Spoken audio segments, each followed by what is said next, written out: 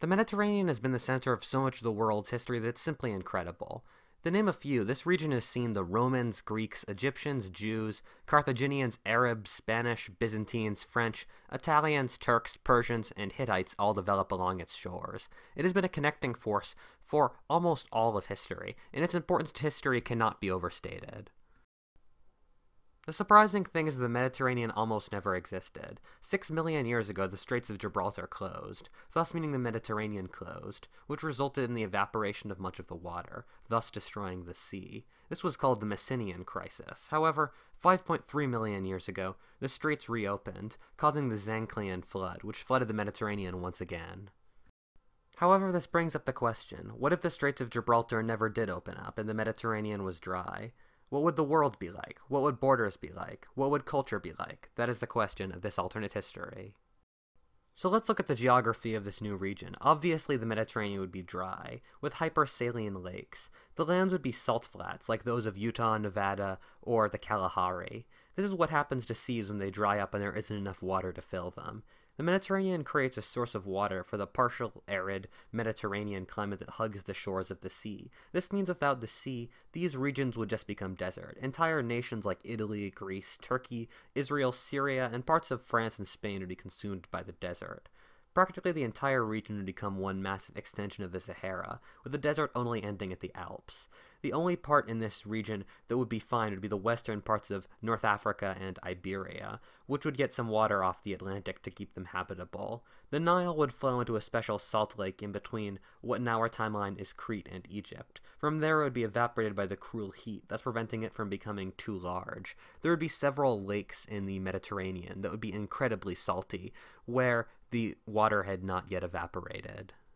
The Black Sea would exist independently from the Mediterranean, since it was created by the flow of the melting glaciers going south. However, it would be much smaller. Until around 8,000 years ago, the Black Sea was cut off from the Mediterranean and was much smaller. Then the dam broke at the Dardanelles and more than doubled its size. That would never happen in this timeline, and the Black Sea would be around half the size.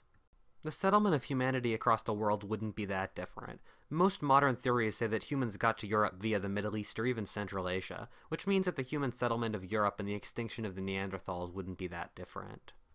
Civilization would still rise in the Tigris and the Euphrates in Mesopotamia, which is not related to the Mediterranean. There would still be the same reasons for the rise of civilization in that region.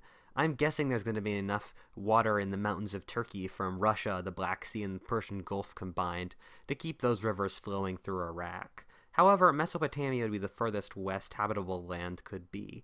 Further west in Syria, Turkey, and the Levant, it would just be pure desert. The Nile would still see the rise of Egypt. The forced irrigation around the river would still force people to work together under a single government and develop civilization. However, the bottomlands around the mouth of the Nile River would be salty flatlands that would be uninhabitable, thus meaning that Egypt wouldn't have the Nile's mouth, which is where the majority of Egypt's population and resources come from. There would also be no coast to connect the Egyptians with the rest of the world. This would effectively retard Egypt's growth on many different levels. Getting rid of the Mediterranean and the Delta would effectively turn Egypt into Sudan, which has the Nile but neither of the others. This would prevent Egypt from becoming a major world civilization. No offense, Sudan, you've made some nice pyramids, but you're not a world civilization that has played a decisive role in history. This would be Egypt's role in this timeline, a minor nation trying to survive around the banks of the River Nile. As Mesopotamian civilization would expand, it wouldn't move west. Egypt and Mesopotamia would be geopolitically cut off by the desert. They would trade but never compete and fight. The desert would mean that nations like the Hittites and Phoenicians would never exist. Also, with Israel being a desert, there never would have been the rise of Judaism and the Abrahamic religions, like Christianity and Islam. Mesopotamian civilization would still collapse and be conquered by the Persians. The dominant culture of the region would be Persian with Babylonian undertones. The dominant religion without Islam would be Zoroastrianism, Persia's fire worshipping religion. There would of course be no Mediterranean-based civilizations like the Romans, Greek, Phoenicians, etc. This has so many effects on history, it's completely ridiculous and would completely derail history. On the northern side of the desert would be northern Europe that would still be wet from the rains coming off the North Atlantic. Without the Romans, the Celts would remain the dominant group here. Without Roman interference, the Celts would take longer to do it, but would develop their own civilization based out of northern Europe.